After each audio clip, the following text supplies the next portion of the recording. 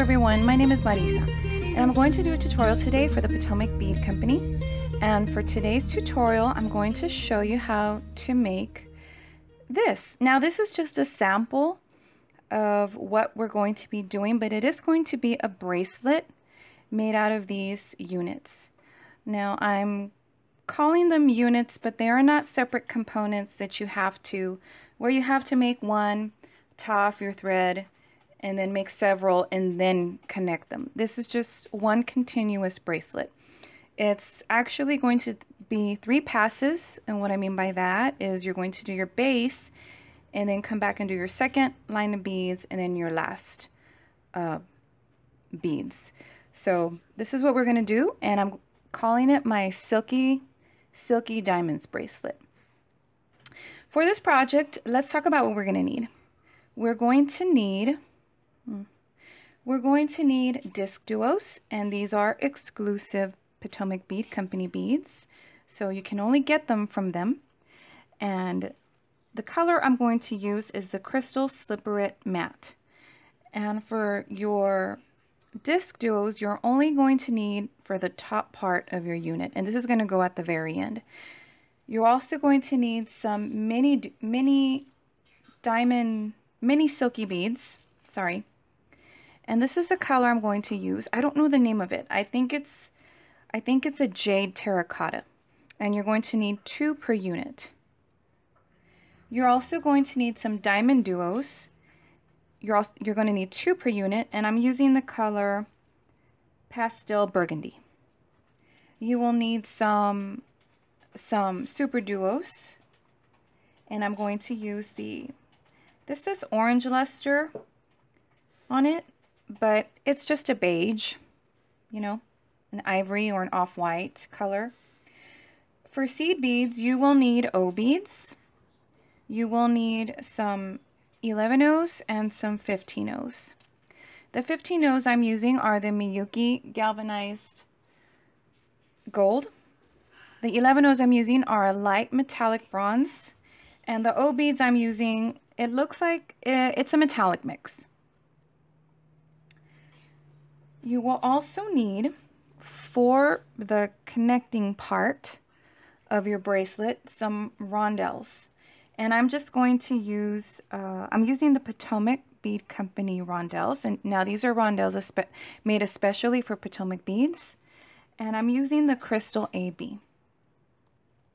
Now I'll talk a little bit more when we get to this part on this little area here, the connecting part of our of our bracelet. To fasten everything, I'm going to use a cup button and I'm going to use the zinc iris color. Now, for my bracelet, I'm going to make mine six units long. Six of these with five of these separating them.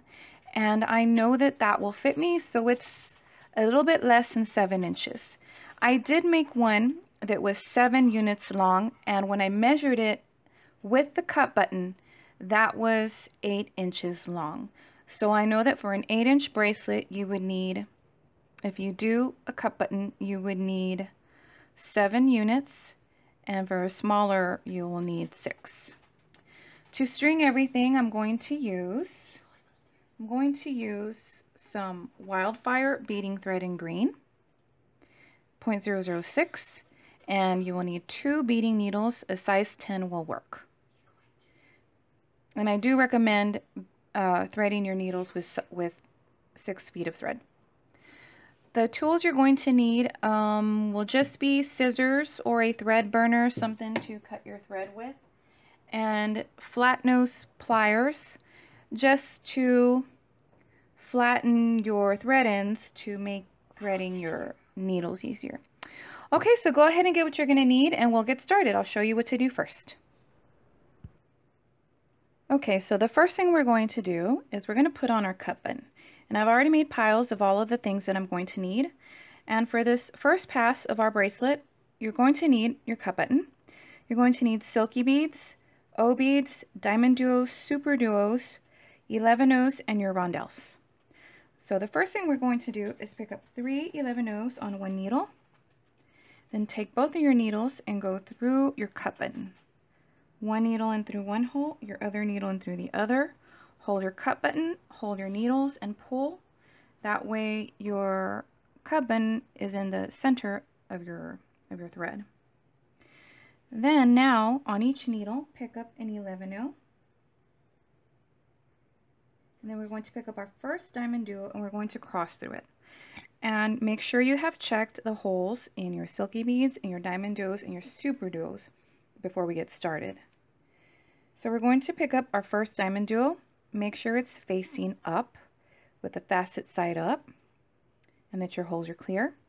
And you're going to go in through the hole closest to you. And you're going to cross both needles through it. One like this the other like this. And then pull and hold on to your diamond duo because you're still fairly starting on your project and you want to make sure that everything stays centered. So both of your needles, both of your strings are coming out through this hole. Hop on up to the other hole with both needles and go through the other hole, cross through it, with both needles of your diamond duo because we need to end up in that other hole. And then we're going to start with our succession of beads that are going to be on both of your needles. O bead, super duo, O bead, silky bead, and make sure that the bumpy side is up. And you're going to go in through that hole like that. O bead, super duo, and O bead. So this is what you should have on your thread, just like that. O bead, super, O bead, silky, O, super, and O. And do that on both needles. Everything we do on one needle, we're going to do with our other needle. And then it's O bead super duo O bead. So once we have all of these beads on both of our threads, we're going to pick up our next diamond duo and we're going to cross through this hole, the hole closest to us. So take both your needles, go in there and cross through it. And then pull your thread and that's what you should have. And on this first step, your super duos are going to be going in. Your OBs are going to be sticking out really weird. That's okay. That's normal. Do not try to tighten it. Just, just pull everything to where it's snug. Don't go crazy trying to fix it, trying to tighten it. Because in this step, it's not going to work. By the time we do our second step and our third, everything's going to come together very nicely. So don't worry if everything's looking really weird on this step. So take both of your needles and hop on up to the other hole of your diamond duo and cross through it. Now we're going to do this part, the connecting part right here. And that all that is going to be is an 11 0 on each needle, a rondelle, and then an 11 0. And for this part, you don't have to use rondelles. You can probably use any 4 millimeter O bead, round bead, I mean. You can probably even use a 6 Matubo.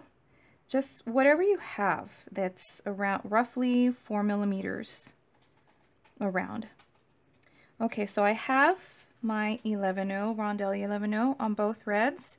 Now we're going to pick up our next diamond duo and we're going to cross through this hole closest to me with one needle going in one direction and the other needle going in the opposite direction and pull. And then we're going to pick up the O-bead Super Duo Silky O-bead sequence again. Oh wait, from here, I'm sorry, we're going to hop on up to this hole and cross both needles through it. And then once we do that, then we're going to pick up our sequence of O bead, super duo, and look at that. I know it's really ugly, but trust me, it's going to come together very pretty. Okay, so it's O bead, Super Duo O bead, Silky, whoops, O bead, Super Duo, and O bead. And now I'm going to do my right needle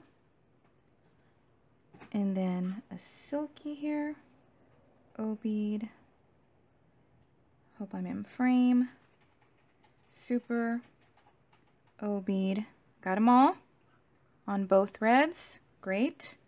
I'm going to pick up my next diamond duo and I'm going to cross through this hole now, the one closest to me, with both of my needles. And then once we do that, we're going to hop on up to the other hole of our diamond duo and we're going to cross through it and then we're going to do this part again and that'll get us ready to do our next unit. So go ahead and do this the length that you need. This bracelet will not shrink on you. So go ahead and do as many units as you need and I'll meet you back.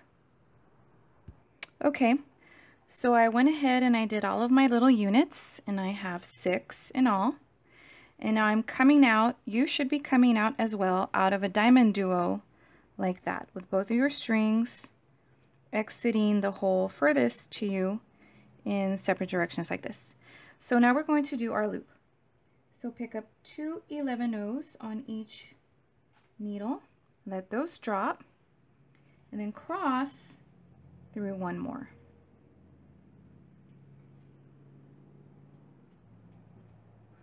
And this is so we can do our loop. And I'm going to pick up on one needle enough 11 O's that will accommodate a cup button. And I'm not counting, I'm just picking up a bunch of them and I'll just look at it and then I'll test out my cup button to see if it fits. And since I don't have it since I don't have a crystal it should, it looks kind of small. It should, um,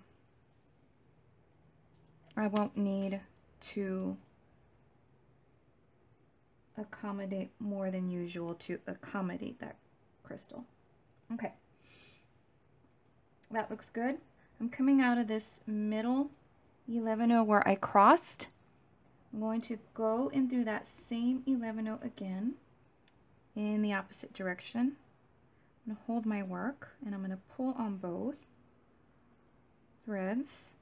And I'm just going to test out my my cup button and since I just totally moved everything let's see. I think I need one more. Okay so all I'm going to do is add one more seed bead here I'm going to take this out and I'm just going to add one more seed bead and then with my other needle I'm going to reinforce this loop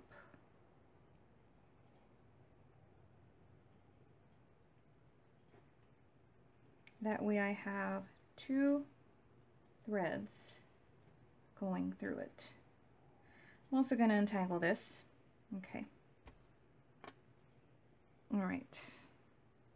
All of that just to add one more bead. How about that? Okay, I'm just going to add one more. I'm going to go in through that same 11 O again.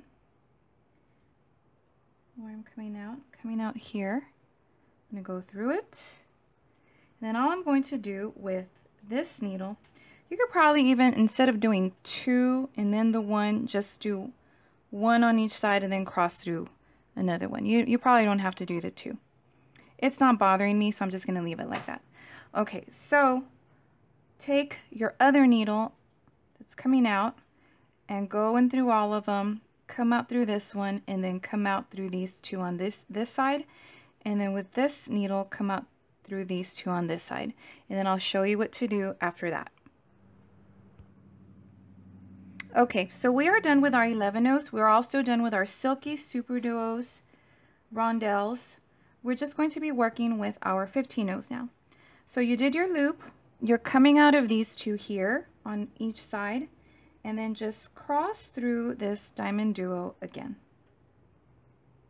Take both needles in through there and cross through it.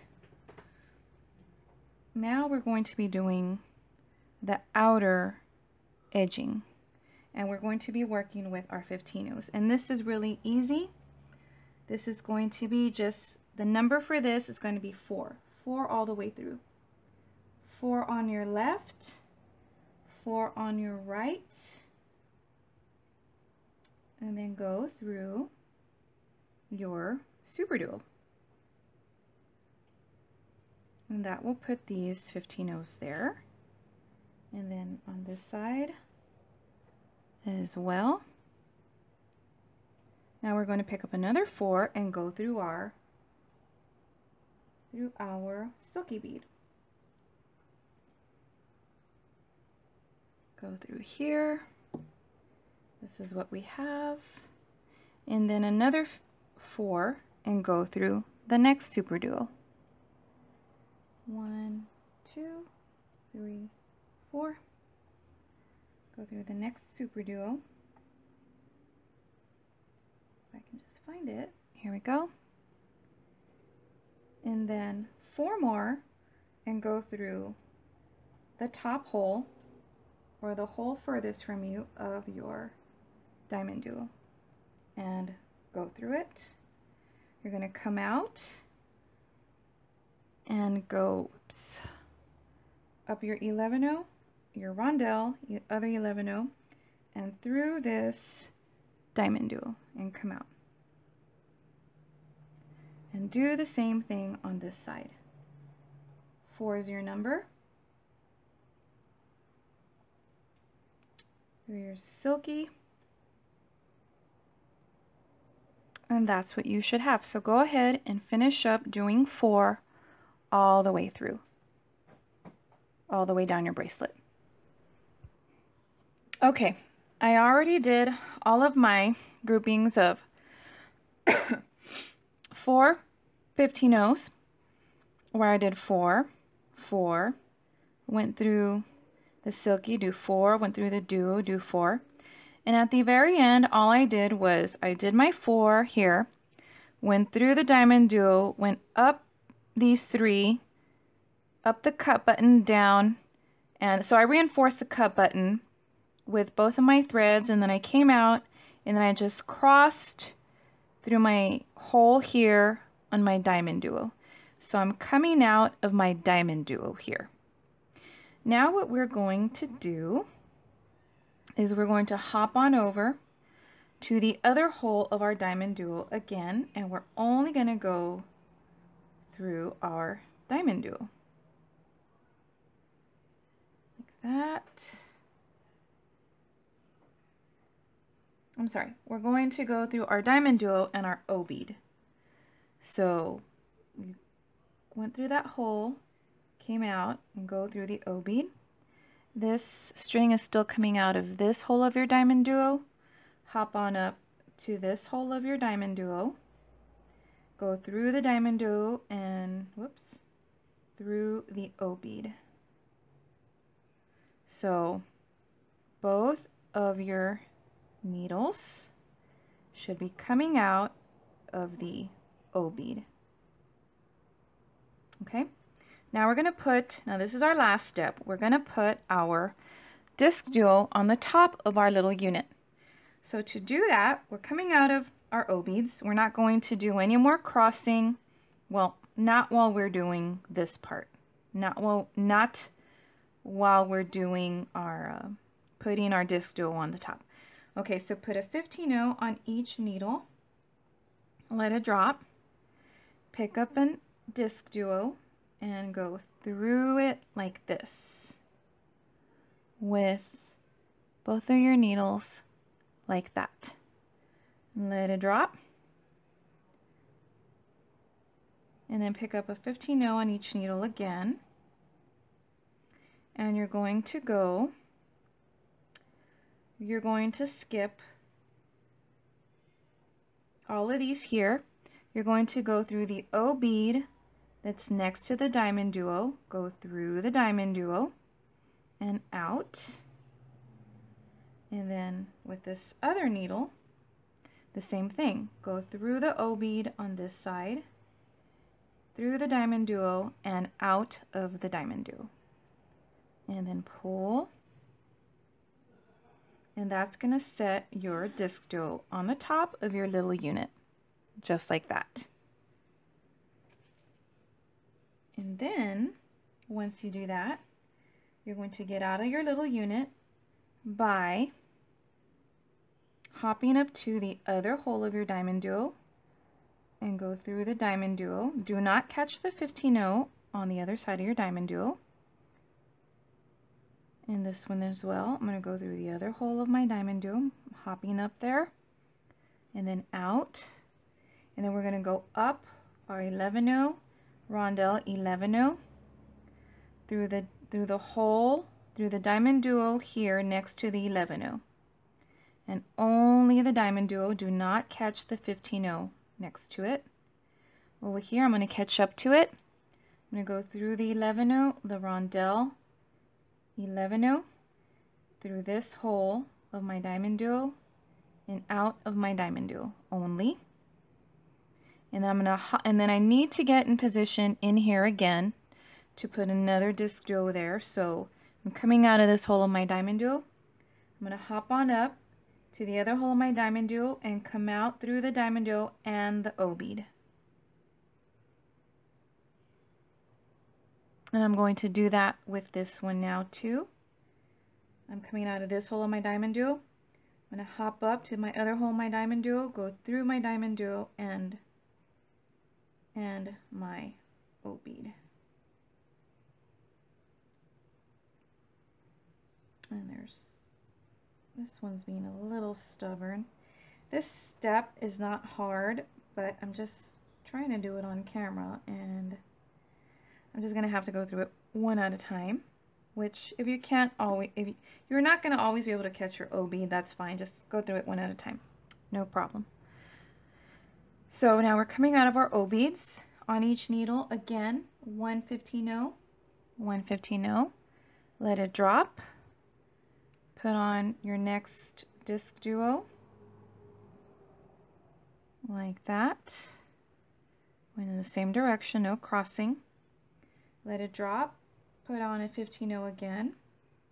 And you're going to go through the O bead that's right outside, right next to your diamond duo. So go through the O bead and through the diamond duo, come out of the diamond duo. and then with my needle on my right side the same thing I'm going to go through this O bead through the diamond duo and out my diamond duo and I'm going to pull hard so that I can get this just right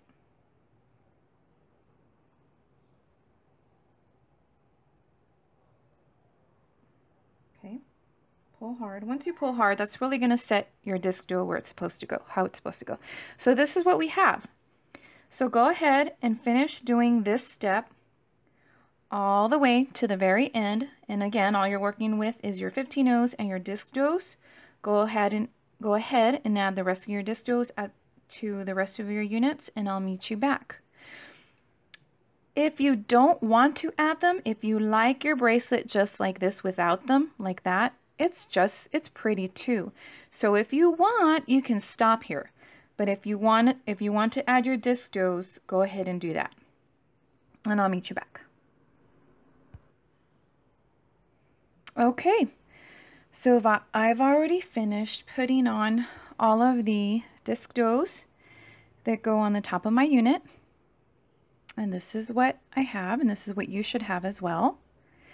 And now I'm coming out through the further hole on both sides like this. Each of my threads is coming out on one side and um, I'm just going to leave one here and then I'm going to take the other one and I'm going to go up these 11 O's here next to it then go through this 11 O where we did our crossing and then down the 11 O's on this side and I'm going to meet my threads. So my threads are meeting here. Now what I'm going to do is just turn my, take off my needles and then I'm just going to tie a knot. Let's make sure I have this right. Okay. I'm going to tie a knot. And once you have your knot, your bracelet will be complete. So one more time.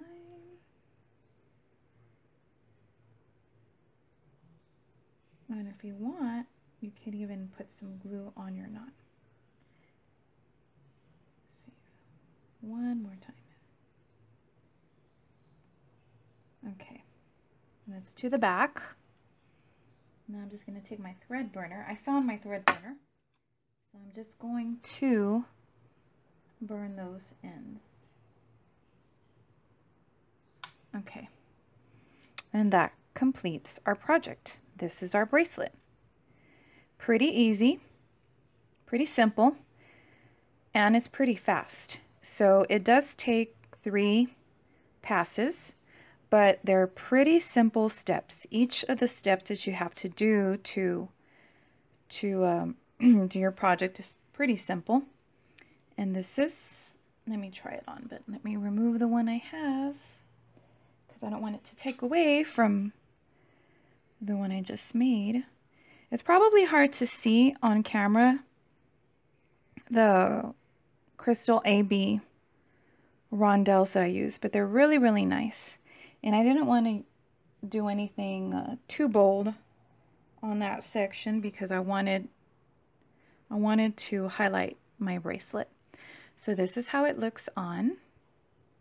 And I really, really like this.